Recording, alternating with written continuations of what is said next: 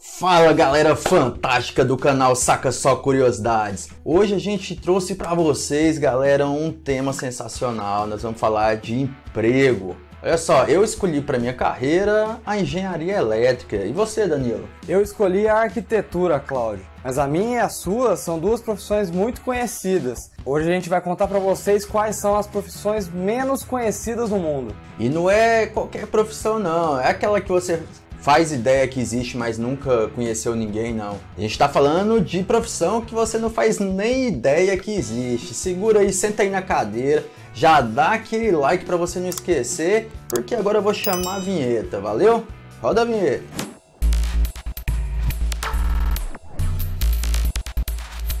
E a gente já vai abrir essa lista, galera, com uma profissão que parece meme: segurança de coqueiro.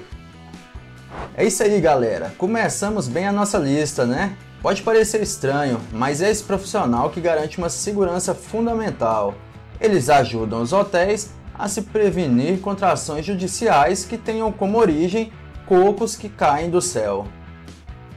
É isso aí, galera. Tem um camaradinho ali que fica é, tirando aqueles cocos ali que já estão prestes a cair, né, fazendo a poda ali e prevenindo qualquer tipo de acidente que possa gerar ação judicial contra o hotel. Mas aí tem que ser lugares bem específicos, onde tem muito coqueiro, né? Então, nem todo lugar não. Eu acho que pro hotel bancar um cara desse, tem que acontecer muito acidente mesmo. Você aí que é dono de hotel já pensou em contratar um segurança de coqueiro? Se eu fosse você, eu pensava, viu? É uma profissão promissora. É isso aí, galera. Como eu disse, parece meme, mas existe mesmo. Vamos então pro próximo da lista, Danilo. E você que sempre sente o cheirinho da comida do vizinho aí na hora do almoço, eu tenho uma profissão para você aqui que você vai ganhar um dinheiro fácil. É o especialista em odor. É bizarro, porém mais comum do que você imagina. Alguns profissionais de olfato aguçado são contratados para conferir odores de produtos para o mercado como vinho, refrigerantes, novas fragrâncias de perfumes e principalmente desodorantes das axilas de pessoas alheias. Já pensou, Cláudio, trabalhar cheirando o sovaco dos outros? Ave Maria. Mas ó, não é só o sovaco dos outros, não. Lá ele faz o perfuminho, ele cheira ali um vinho. Convenhamos, tem que ter um olfato muito apurado. Eu não ia servir para isso, não. Eu não distingo muito bem os odores, não. Eu acho que eu ali, 15 minutos sentindo um monte de cheiro variado, eu já ia misturar tudo, não ia distinguir mais nada. É isso aí. Nós já temos duas profissões muito bizarras e agora vamos entrar numa terceira, que também parece meme, o aquecedor humano. Quem de vocês aí não gosta de dormir numa cama quentinha, hein? Alguns hotéis começaram a servir um serviço de aquecedor, onde os funcionários dos hotéis são chamados pelos próprios hóspedes para deitar em suas camas. E aí, o que, que você acha? É bizarro ou não? Olha aí, galera, você tá lá num lugar muito frio e aí chega a noite, vai lá deitar né, na, na caminha do hotel, tá quentinha, tá explicado aí, ó. Tem o aquecedor humano, tem um carinha que vai lá e ó, já deita e deixa tudo quentinho. Olha, eu acharia bem estranho chegar na minha cama do hotel e sentir a cama quentinha. E eu não ia gostar dessa ideia, não. É, galera, esse é um gosto bem peculiar. Mas olha aí, que profissão mais sinistra. Mas falando em profissão sinistra, Cláudio, agora eu vou mostrar para vocês a mais sinistra dessa lista de hoje. Provador de caixão. Essa profissão vai para a lista dos nomes óbvios, certo? E acreditem ou não, tem sido cada vez mais fundamental para a sociedade, pois afinal de contas, mesmo que elas não possam reclamar do serviço, quem foi que disse que pessoas mortas não merecem conforto?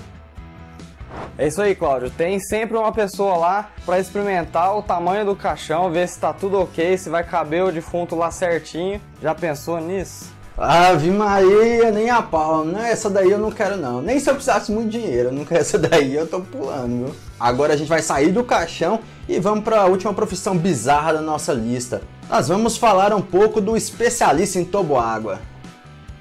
Que tal ir trabalhar de roupa de banho e se divertir descobrindo se os toboáguas estão seguros, hein? É melhor não, sabe por quê? Muitos desses profissionais morrem afogados ou caem de alturas colossais. Devemos muito a esses especialistas, pessoal. É, tá aí, parecia ser uma profissão legal, né? Mas, cara, o cara tá ali pra testar o toboágua, então se der errado ele vai ser o primeiro a saber, não vai, não vai ser muito legal não, viu?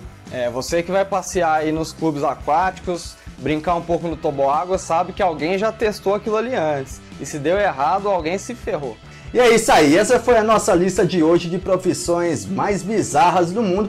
Se você conhecia alguma, deixa aí nos comentários. Eu acho difícil, hein? São profissões assim muito singulares, acho que muito excêntrica. Eu acho que tem alguns estabelecimentos aí que tá querendo inovar demais, porque essas profissões, Danilo, não sei não, viu? Ó, dessas aí a única que eu conhecia assim, já tinha ouvido falar, é o especialista em odor. Eu também, eu também, por causa do perfume, né? Tem que ter, realmente tem que ter alguém que vai sentir o cheiro, né? Senão não dá. Mas as outras quatro nem fazia ideia. É isso aí, pessoal. Se você não conhecia nenhuma dessas profissões ou conhecia alguma delas, conta aí pra gente nos comentários. Se você conhece alguma outra profissão totalmente desconhecida, assim, que a gente nem imagina, conta também pra gente. Se inscreve no canal, ativa o sininho, deixa o seu like que a gente gosta e segue a gente nas outras redes sociais. Conta pra eles aí, Cláudio. A gente tá lá no TikTok, tá lá também no Instagram, galera, no perfil arroba oficial. Lá no Instagram a gente tem curiosidades postadas todos os dias. Curiosidade de todo tipo, galera. Aleatória. Você vai gostar, vai lá, viu? Dá essa força, valeu e até o próximo vídeo. Te vejo no próximo vídeo. Até mais.